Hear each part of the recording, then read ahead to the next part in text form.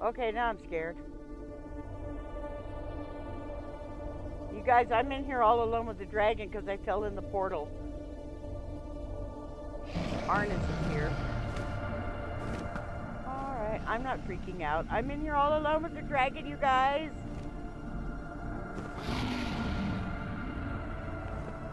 I wish I was wearing a diaper.